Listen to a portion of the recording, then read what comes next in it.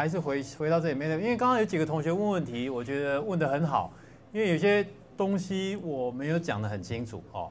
譬如说，你我刚刚这样打进去哦，就把它储存起来，它储存位置放在哪里呢？它的位置你要你打在 menu 你打 pwd，它就跟你讲说你目前的目录在哪里。那你打 dir dir star 点 m，它就跟你讲说你这里有两个 m 档案，这就是我刚刚输入的两个 m 档案。一个是买 function 点 m，一个是 my script。原先我我刚刚是讲的是 my program，但是我觉得 program 这个命名取得不好，所以我把它改成 my script 点 m。那在买 function 里面呢，它这个第一行的 function 这个名称并不是很重要。比如说我在这里打 triple x，它一样会 work。它只是在看说这个 function 第一列它要有一个 function，它就知道说，哎，这是一个函数哦，那它吃什么吐什么，这样就可以了，其他通通不重要。哦，我是说在这一列其他东西不重要，哦不是说全部不重要哦。这一列，所以它只要它最主要是呼叫，譬如说买方形，它这样呼叫的时候，它是直接抓档名，档名叫买方形就把它抓进来，然后吃 a to x y，这样就结束了。好，那第二个问题呢，有同学跟我讲说，那个 transpose 这样撇一撇 transpose，那个是转置的意思哦。比如说 a 等于我刚刚讲。Matrix 三哦，所以 a prime 就把它转置过来，但在实数里面就直接转，那是没有问题的。碰到复数，它不只是转而已，它不但转了，还帮帮你加上一个加一个 conjugate。这所以在复数里面，a prime 叫做 compress conjugate transpose，数学上的定义也是这个样子哦。我举个例子可能会比较清楚哦，比如说，嗯。A 等于 magic 三加上，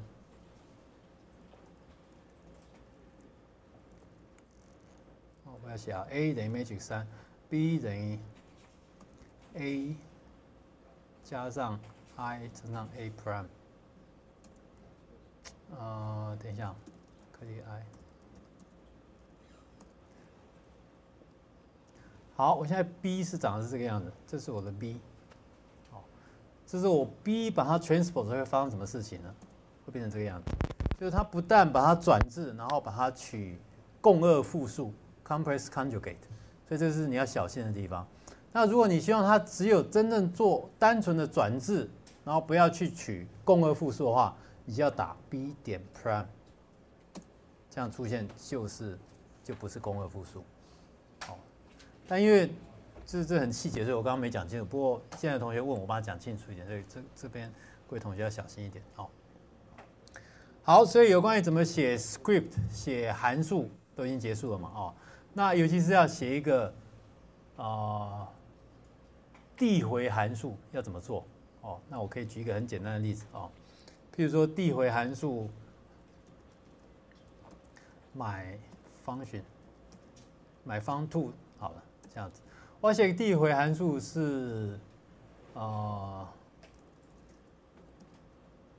，Fibonacci，哦，所以这边是这其实无所谓，n，好，Fibonacci 各位记不记得这个？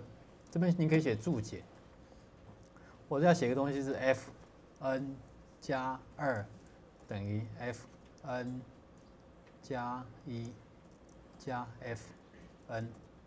然后 f 零等于一，f 一等于一。哦，各位记得吧？这叫 Fibonacci number。哦，我要算的递回函数是这个样子。那我要怎么把这个函数写出来？哦，那很简单。第一个，你一定要有边界条件。哦，比如说 if n 等于零，y 等于一。然后 return，and return 的意思就是直接跳回去了，后面就不用再看了。好，这是第一个边边界。第二个边界，if n 等于一，y 等于一，return，and 好，这主要这两个边界条件。一进来，我发觉它符合我的边界条件，我就跳出去。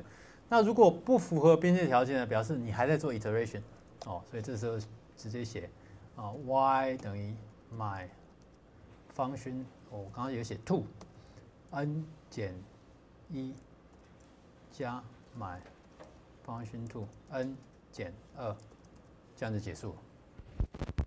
所以你发觉他在呼叫他自己，哦，看得懂吗？所以，哦，好，写完了，我把它存档，好，来测试一下。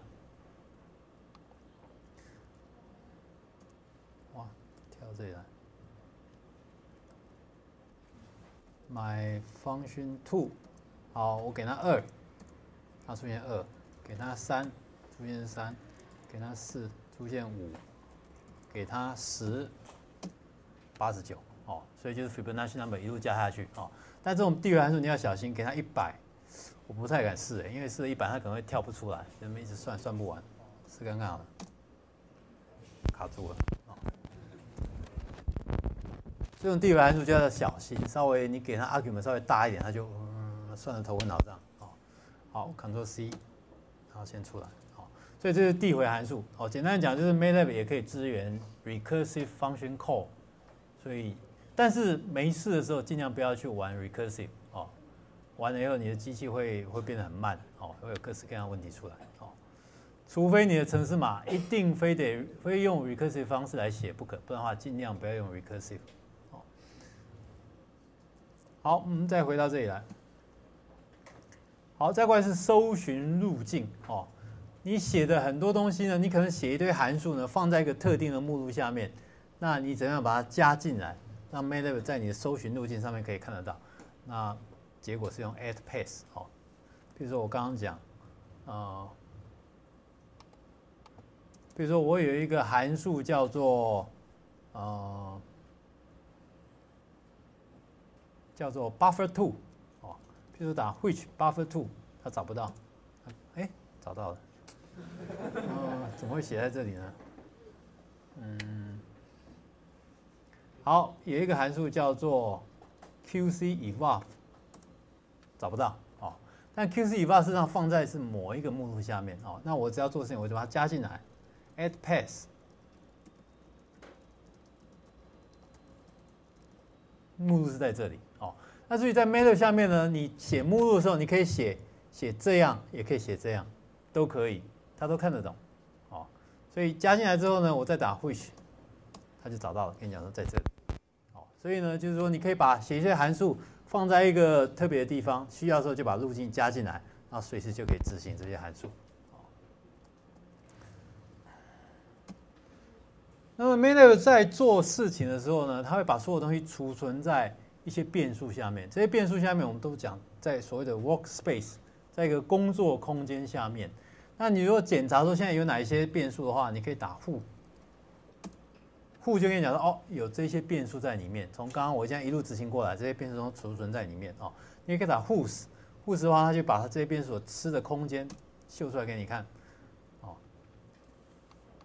那因为我们这边呢都是 double 的矩阵，所以呢每一个元素呢就用掉八个 byte。所以碰到，比如说在这里，A 是一个三乘三的矩阵，A 是一个三乘三的矩阵。那总共有九个元素，每一个元素占掉八个 byte，所以就吃掉七十二个 byte。哦，那 Q 是一个一乘一的矩阵，哦，它因为它是 complex，它是一个复数，所以它就吃掉十六个 byte，因为一个实部加一个虚部。哦，所以这边就可以看出来它各各自占用了多少个记忆体在里面。哦，那我可以算一个，比如说，我可以 clear all，全部把它清掉了，whose。没有东西了，哦，clear 就把所有东西全部把你全部全部刷新一遍哦。比如说我是 R A 等于 r n d 一千，你看它吃掉多大啊？这是一个一千乘一千的矩阵，那呃总共有八，后面有八百万个 byte，所以是八个一二三四有八个 mega。在里面，所以你看稍微矩阵稍微大一点的话，它就吃掉很多 memory，所以这个是要很小心的地方。好，那但是现在矩阵速这个运算速度很快，像 A 虽然有占掉吃掉八个 mega，你要算它 inverse，B 等于 I N V A，你觉得它多快会算出来？一千乘一千的矩阵算反矩阵，觉得三秒内算得出来请举手。觉得三秒内算不出来请举手。其他的都是骑墙派。哦，好，我们看看有多快，算出来了。好，那你要算它到底算的有多快呢？一种方式是啊，TIC，B 等于 IMVA，TOC。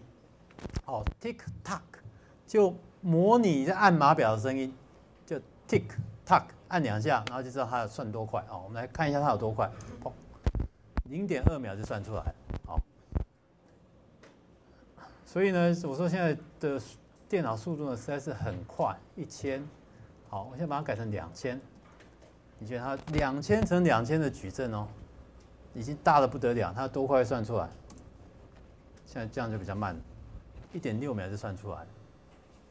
哦，所以，但是运算速度永远比不上我们真的应用的时候碰到的问题，实在有时候是大的不得了。那越快运算速度，实际上是让你能够做更多的研究，能够有机会发现更多的定理，设计更多的。更好的软体和机械等等，哦，所以，所以我讲这个 super computing，这个这 computing power 越强，实际上你的国力就会越来越强，实际上这是没有错的，哦，所以各位记得 TikTok 就让用你让你来计时，哦，所以这是储存变数的储存，哦，那你可以把变数收起来，把它藏在某一个地方，哦，比如说我说，哦，我刚刚讲 A 啊。再把它变小一点好了。Magic Five，哦，A 是这样的几个，你可以把它存起来。Save，哦，A B C A，好，A B C 是档名，哦，然后把它 Save A 到 A B C 里面，哦，所以 D I R，你就会发觉里面有个 A B C 点 M A T，那这 A B C 点 M A T 就是把 A 的这个数值把它收起来了，哦，那你可以把所有东西都清掉，然后再把它 load 进来。所有东西像都已经没有东西喽，load A B C 大 M A T，再漏进来后，whos A 又出来了，重现江湖哦，所以就把它储存起来，再把它漏得回来，哦，所以这个都是很简单的运算，我想很快就带过去哦。那离开 Mate 这个最无聊了哦，当然就把它关掉就好了哦，所以你打 Exit Quit 直接关闭哦。好，所以我今天要讲的有关 Mate 方面就结束了哦，剩下的呢？我们来看一下这个作业，但是为为了这个作业呢，我特别做了一个投影片，叫 Rule of Seventy Two 哦。我们来先看作业好，作业作业我我不仔细一一个一个讲哦，一个是矩阵加法的延伸哦，各位这看一下知道很简单，第一题和第二题都很简单。第二题呢，事实上我们在这个 Rule of Seventy Two 马上就会讲到哦，银行贷款月付额，这个我待会投影片也会讲到，就是说。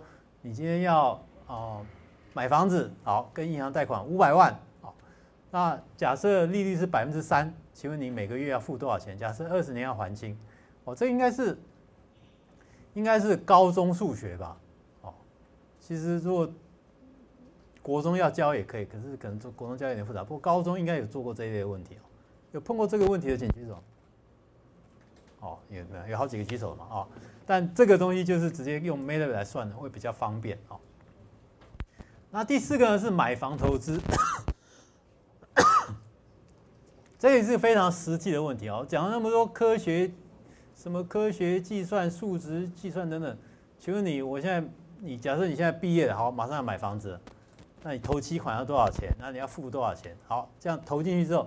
二十年之后，房子全部贷款全部还清了，你要准备把它卖掉了，你可以赚多少钱？你有没有算过这个问题？好，你说真的有算这个问题的话，你绝对不会去租房子，因为租房的钱全部都丢在水里就不见了。但是你算了就会知道。啊，那最后一题，最后一题我也不讲，最后一题也是很简单。啊，所以我们来看这个 rules of seventy two。好，我应该直接从这里调出来。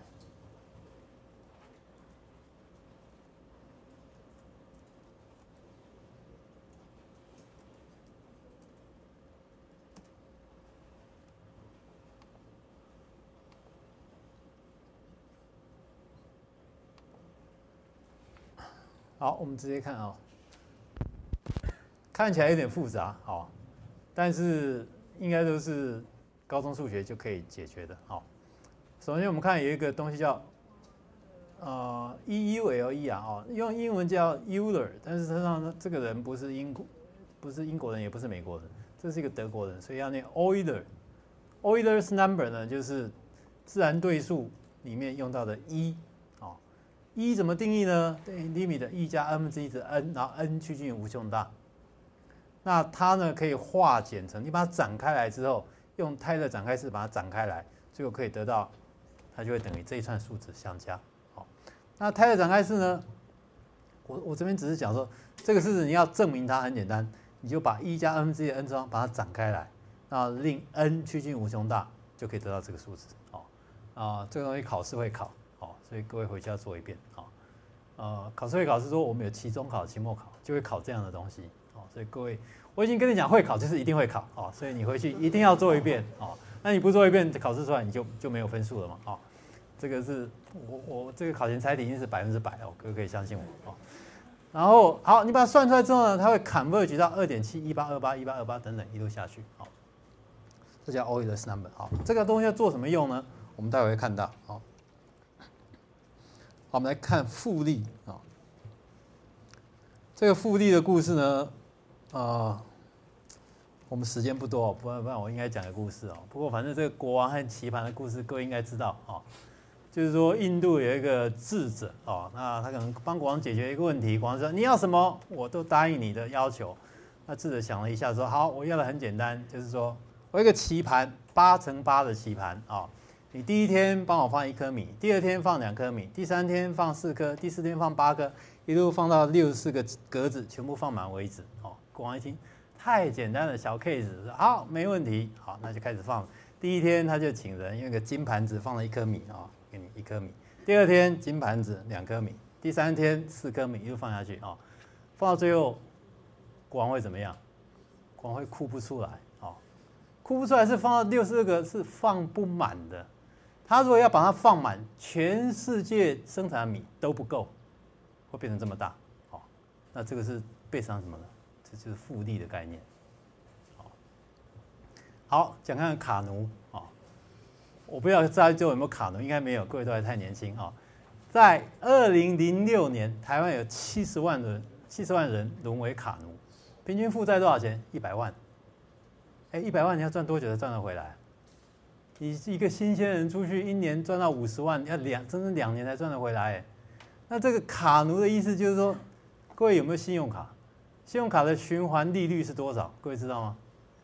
国家规定说循环利率不能超过百分之二十，所有的银行都百分之十九点几、十八点几。十八点几是什么意思？你知道吗？十八点几意思就是说，你今天有欠一百万在那里，一百万没还，第二年没有，不是第二年哦，十八趴的意思就是说每四年会两倍。哦今天欠一百万，四年后就变两百万，在四年后变四百万，在四年后变八百万，你根本就还不起，哦，所以这都是复利产生的，哦，所以，所以只是要跟各位讲说，用信用卡要很小心，哦，很多人拿一张卡说，哦，好棒哦，我可以刷一千块，我就刷一千块，看到什么冲动性购物，看到购物台，哦，这个好，就给他买，买回来后发现你根本就付不起，哦，但是这个细节我们就先不谈，哦，我们来看看这个。复利的公式是什么？复利公式很简单哦，F V 就是叫 future value 将来的值，P V 叫叫 present value 哦，就是说你可以看成 P V 就是本金，本金丢进去一加上利率的 t 次方就得到它的最后的本利和，哦，这公式大家都会哦。那这 R 呢就是啊 interest rate 利率，T 就是期数哦，example。假设你今天丢一千块钱，利率百分之三到银行里面去，经过了二十年，哦，利率百分之三嘛，就是一加百分之二十次方，你会拿到一千八百零六块钱回来，哦，这是经过了二十年哦，二十年哦，然后呢，我们来看看利率的算法啊，其实有一点 tricky，哦，不是那么直觉哦。第一个呢，我们有所谓的 periodic compounding，哦，就是。定期来算这个利率哦。我跟银行借钱呢，我说这个是百分之三，我帮他借来以后呢，他实际上他的算法呢，复利不是每年才算一次，它是每个月在算。所以呢，我真的要算二十年呢，是应该是一千乘以百分之三，要除以十二，然后用二十年，每一年有十二个月，这么多两百四十两百四十期在算，最后得到呢是一八二零点七五，哎，看起来好像比刚刚又高了一点哦。刚刚是多少呢？刚刚是一八零六，现在变一八二零，哦，这是每个月在算复利。那我可不可以每天算复利？可以吧？我可以每天算啊，我就把这东西除以三百六十五，这边就二十乘以三百六十五，就是每天在复在算复利好。我可不可以每秒在算复利？也可以啊，我就把这边除以这边有多少秒，那这边总共乘以二十乘以一年有多少秒数，哦，变成每秒在算复利。但是我可以推到极致，就是说我可以用 n，当 n 毕竟无穷大来算，那这时候你一算完，你把它稍微化简一下，最后得到 P_v 乘上一的 Rt 次方。好，那如果我说这就非常逼近于每秒都在算复利了。那每秒算复利，你丢进去算，以后发现，哎，一八二二点一啊，并没有多多少。哦，所以银行真正在算的时候，它也不会跟你每秒在算复利，因为以前没有没有 MATLAB 也很难算这个东西。哦，所以它都是每个月给你算，所以你就得到一八零六点一一。哦，好，所以你的投资你现在知道，丢进去，然后百分之三，那经过二十年，你可以得到将近两倍。好，那我现在问一个问题，就是说，我丢进去的钱。多久可以变两倍？好，那第一个 formula 是这个样子哦，F_v 除以 P_v 哦，用刚刚公式等于二是两倍的时候等于一加 Rt 方，就一路算过去，把 T 算出来，它的正确解是 natural log 取二除以 natural log 一加 R 哦，但一加 R 呢可以用 R 来逼近，为什么？哦，这个。假设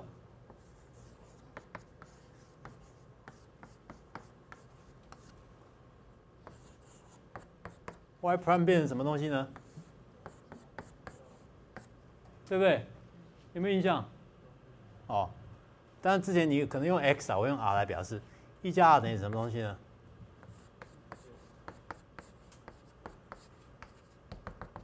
无穷，可以把它展开来。对不对？展开来之后呢，因为 r 远小于一，所以得到 y。你再把它积分回去，这边 r 减二分之一 r 平方，后面你可以通通不看了。那后面如果通通不看的话，就剩下一个 r 而已。这个了解吧？哦，所以一逼近就只剩下一个 r。哦，考试会考，哦，考试会考，哦，很简单，算是很简单，但是就会考这些东西哦。所以你一算出来之后，发觉哎，经过这一连串运算之后呢，我就发觉它等于零点六九五一，natural log 二是零点六九五一除以 r，那么零点六九五一呢，就逼近于零点七，变成零点七除以 r。哦，那 r 呢，譬如说如果是百分之三的话呢，就变成上面变成七十除以三，所以就大概是二十三年多一点，你的投资就会翻两倍。好这是第一种公式，哦。第二种公式呢，假设是十二，就是用月来算的话，那你如果东算西算，发觉哎还是很接近。那用连续复利来算的话呢，哎也更接近。所以呢，这个 rule 叫做 rule of seventy two。你想说为什么是 seventy two？明明明是七十嘛，七十除以三嘛，你给我一个年利率，我七十除以这个年利率，我就知道说多久我的回收会 double。但一但是因为七十就是它的因数比较少，比较不容易算，所以有人就讲 rule of 七十二，哦，其实就是简单讲是，你用七十二除以你的年行银行的年利率，你就知道说多久你的投资会变两倍回来，哦，就这个意思。那我们用刚刚这几个翻译来讲，哦，如果是年利是年利率是百分百分之三的话，用 t one 这个公式，t one 在这里哦。它将近于二十三点四五年就会得到两倍。那如果你七十点三，哎，很接近二三点三三，哦。那如果用 T two，T two 是这个样子来逼近的话，是二三点一三年，你的投资会变两倍。这边不是有上回有一个经济系的同学在那里？他说适不适合修这课？啊，我看到了在哪里？哦，这个就是经济的东西，对不对？是非常适合经济系的同学来修。这个作业你一定要会写，哦。如果不会写的话，应该就就就就我就去问说你的经济学，你的基本的东西是哪个老师教你啊？所以这应该都会啊。T 三的话，你看连续复利这样一除，哎，得到的话是二三点一零年，那也是非常逼近于七十除以三，得到二三点三三。哦，所以我们得到一个原则，就是我刚刚讲的，银行给你利率多少，你把七十除以这个利率，你就知道多久会回收。哦，所以但是我们通常讲 rule of 七十二是用七十二来除，七十二来除的话，你得到数字会更长一点，那就是表示更保守的估计嘛。好，我们的一个问题就来了。好，这个因为刚刚有很多同学举手，所以我觉得这也不是一个难的问题。哦，就是图稍微把它画出来。哦，银行贷款一百万，你跟银行借了一百万，二十年还清，利率固定百分之三，请问每个月要还多少钱？贷款一百万就是 present value，银行一百万先端出来给你。那一百万经过二十年之后，它的 future value 是多少？F V one 在这里。一百乘上一加 r 除以十二，十二乘以二十，两百四十七。但是你还钱是每个月在还哦，从第一个月你还的是 x，然后相对于 future value 是 x 乘上一加 r 除以十二，两百三两百三十九。